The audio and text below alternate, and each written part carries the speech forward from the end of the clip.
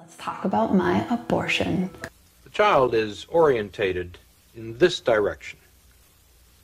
You are looking now at the head of the child here, the body of the child here, and this uh, image is the child's hand approaching its mouth. Um, I had three abortions. But the abortionist has now dilated the cervix and is now inserting this suction tip, which you can see moving back and forth across the screen. You will note that as the suction tip, which is now over here, moves toward the child, the child will rear away from it and undergo much more violent, much more agitated movement. And that was the most loving decision I could make for myself and um, for my child.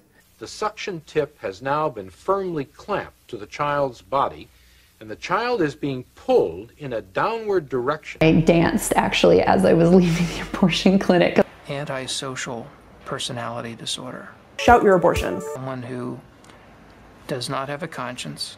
It is totally okay to have an abortion. Does not have remorse. I never looked back. I never regretted it. Does not feel a sense of guilt.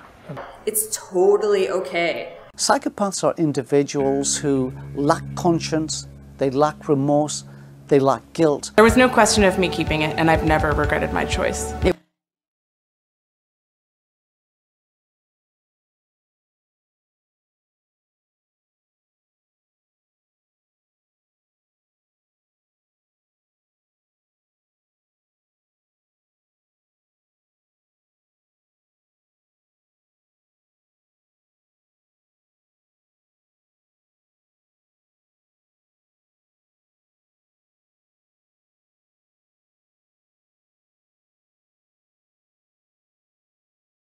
The child's head is still discernible here.